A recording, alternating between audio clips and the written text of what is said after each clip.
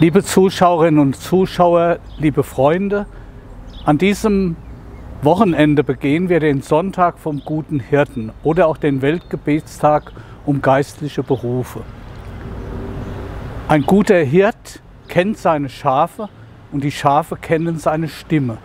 Jesus hat sich immer wieder als den guten Hirten bezeichnet, dem wir uns anvertrauen dürfen.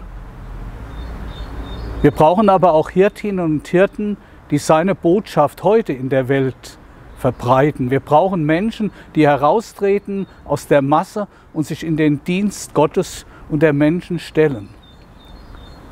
Darüber hinaus sind wir alle als Getaufte gerufen, solche Hirten und Hirtinnen zu sein, die Botschaft Jesu weiterzugeben, Zeugnis von ihr abzulegen. Mir ist ein Wort von Kardinal John Henry Newman im Laufe meines Lebens sehr wichtig geworden und das möchte ich Ihnen und euch mit auf den Weg geben. Er schreibt, ich bin dazu berufen, etwas zu tun oder zu sein, wofür kein anderer berufen ist. Ich habe einen Platz in Gottes Plan, auf Gottes Erde, den kein anderer hat.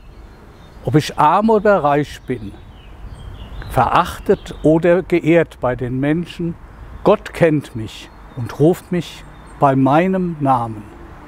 Ich wünsche Ihnen und euch alle einen gesegneten Sonntag.